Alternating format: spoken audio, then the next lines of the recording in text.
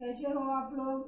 आज मैं आपके लिए लेके आई हूँ चिली पोटैटो, जिसके लिए मैंने शिमला मिर्च ले रखा है। देखिए साइज़ मैंने बड़े साइज़ में इसको काट लिया है, काट ले रखा है। ऐसे बड़े बड़े साइज़ में मैंने प्याज प्याज को भी काट लग काट लिया है। और मैंने आलू को हल्का सा बॉयल किया है, दो सीटी। देखिए अभी बहुत ही बहुत ही हुआ नहीं है थोड़ा सा टाइट है, इसलिए हल्का ही उबालना था मैंने। और लहसुन मैंने छोटे छोटे छोटे टुकड़ों में आठ दस कलियाँ मैंने छोटे छोटे काट लिया है। और दो चम्मच हमने मस्टर्ड ऑयल ले रखा है। और कॉर्नफ्लेक्स और इसके लिए मैंने tomato sauce vinegar chilli sauce soya sauce मैंने सब ले रखा है। अब बनाने के लिए मैं गैस जला दिया है। मैंने कड़ा रखा है। देखिए फ्रेंड, मैंने सबसे पहले इसमें ऑयल डाल दिया है। दो चम्मच लिया था, थोड़ा डाला और बचा लिया। मेरा ऑयल गर्म हो चुका है। अब इस, मैं इसमें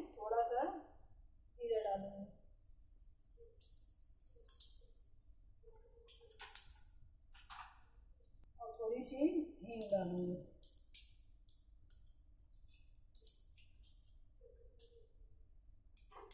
मैं इसमें सबसे पहले देखिए, प्याज मैंने इतने बड़े बड़े मोटे मोटे टुकड़ों में काट लिया अब मैं प्याज डालूँगी।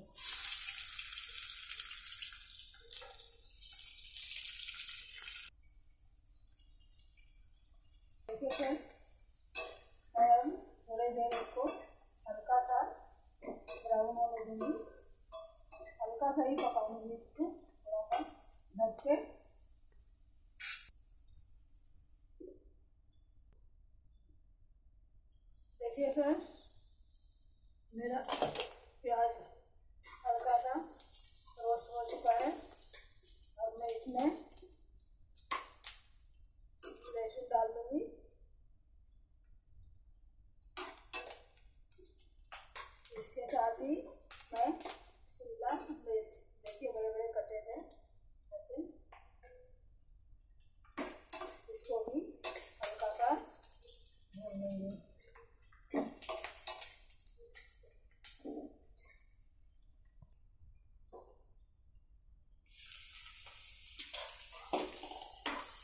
देखिए फिर हल्का सा मेरा फ्राई हो गया है।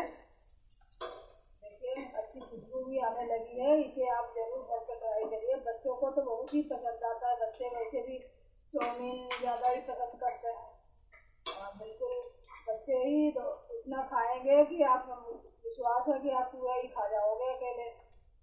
अब इसमें मैं जो हल्का सा बॉयल कर लिया था आलू आलू को आलू को हल्का ही मैंने बॉयल करके काटा है, देखिए। बस दो सीटी दे के तुरंत ही खोल लिया है। अब मैं इसको डाल दूँ हल्का सा इसे भी भूनूँगी इसके साथ ही मैं कॉर्नफ्लेक्स ले रखा है। इसको भी मैं डाल के साथ ही साथ भून लूँगी।